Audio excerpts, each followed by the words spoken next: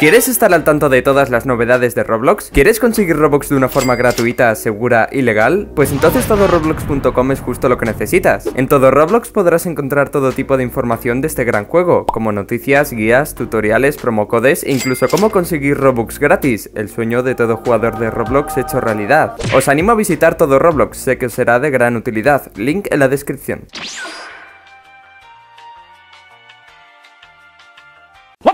Sí, esos puntitos que acabáis de ver han sido el saludo. Me habéis pedido que salude en braille y así ha sido. Aunque ahora que lo pienso, los ciegos igualmente no han podido entenderlo. Va, ¿qué más da? Y bueno chicos, ¿qué tal va todo? ¿Va todo bien? Yes! Pues entonces eso va a cambiar rápido porque yo os traigo juegos para pensar, juegos en los que tenéis que darle bastante al coco, si es que estoy seguro que vuestro cerebro va a explotar con el primer juego. Así que nada, no me enrollo más, agarraros bien al asiento porque os traigo juegos de Roblox para romperse el coco.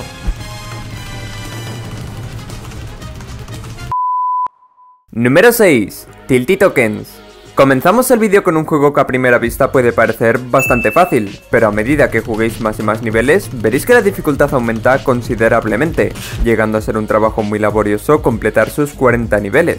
Pero bueno, a grosso modo, Tilty Tokens consiste en mover el tablero para conseguir deslizar las fichas verdes por este agujero, algo que sería bastante fácil si no fuese por una cosa, si se cae una ficha azul, pierdes la partida. Con lo que la dificultad no solo está en hacer que las fichas verdes caigan por este agujero, sino hacerlo de tal manera para que las azules no se caigan. Con lo que como puntuación final, Tilty Token se va a llevar una puntuación de Unianut ficha, Unianut de juego simple y Unianut cabreado. Número 5. Block Breakers. Sí, ya sé lo que estáis pensando, este juego es una copia descarada de Tetris. Pues dejadme deciros que no es así. A diferencia de Tetris, en este juego los bloques no irán cayendo del cielo, sino que podemos elegir libremente qué bloque coger y dónde ponerle, para así ir eliminando las filas y columnas que se vayan rellenando. Y básicamente eso es el juego, un espacio de 8x8 donde tenemos que colocar los bloques que nos vayan apareciendo. Una vez coloquemos tres bloques, se nos darán tres bloques nuevos, y en el momento en el que haya un bloque que no podemos colocar en ninguna parte del mapa, pues se acaba la partida. Con lo que como puntuación final, Block Breakers se va a llevar una puntuación de Unianut Tetris, Unianut de juego en 2D y Unianut de juego simple. Número 4. Parking Panic. Estoy seguro que este juego sonará bastante, ya que quizá vosotros hayáis tenido como yo este juego antes en la vida real. La verdad que este juego me divertió y me enfureció a partes iguales, ¿para qué engañarnos? Y bueno, la mecánica del juego es muy pero que muy sencilla, intentar sacar el coche rojo de este aparcamiento, cosa que a primera vista parece bastante fácil. Pero ya os daréis cuenta después de un rato que de sencillo no tiene nada, ya que después de mover 400 veces los coches y los camiones, os daréis cuenta de que estáis peor que al principio. Nah, pero tranquilos, que los 10 primeros niveles son bastante fáciles. Los 30 restantes, bueno, mejor que descubréis su dificultad por vosotros mismos. Con lo que como puntuación final, Parking Panic se va a llevar una puntuación de Unianut Coche, Unianut cabreado por el atasco y Unianut que copia juguetes reales. Número 3. Merch Food. Para este puesto os traigo un juego cooperativo bastante entretenido, además podéis darle un poco de descanso a vuestro cerebro, ya que la dificultad en este juego es mínima. Pero bueno, Merch Food a grandes rasgos es un juego que consiste en combinar el mismo tipo de comida para hacer una comida nueva. Luego esa misma comida la fusionas con otra del mismo tipo y descubriréis un tipo nuevo de comida que podréis seguir fusionando. Como veis el juego va de fusionar comida del mismo tipo, además el juego está dividido en varios mundos y una vez descubras todos los tipos de comida de un mismo mundo podrás avanzar hacia el siguiente mundo. He dicho demasiadas veces mundo, ¿verdad? Con lo que como puntuación final, Merch Food se va a llevar una puntuación de Unianut Comida, Unianut Fusión y Unianut de Oro. Número 2. Trapez.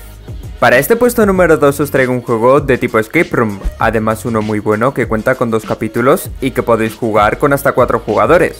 El primer capítulo de Trapez consiste en huir de una prisión, y contamos con varios puzzles que tendremos que ir resolviendo para acercarnos a la libertad, como un rompecabezas, una secuencia de luces, acerticos de astronomía, código morse, rellenar celdas para conseguir un número... En fin, este primer capítulo está muy completo, y supone todo un reto completarlo. Además, cada vez que lo juegas, las soluciones de los puzzles serán completamente distintas. Para el segundo capítulo estaremos en unas instalaciones donde se convierta la gente en noob, entonces hay un fallo de contención por culpa de un noob y nuestra misión será escapar de estas instalaciones resolviendo puzzles y enfrentándonos a algún que otro noob. La verdad es que este segundo capítulo también está muy completo, tiene un mapa bastante más abierto y también tiene un poquito más de acción. Y bueno, en tema de puzzles sigue contando con la misma calidad que el capítulo anterior. Con lo que como puntuación final, Trapez se va a llevar una puntuación de Unianut encerrado, Unianut pensando muy fuerte y Unianut de oro doble. Número 1. Null City.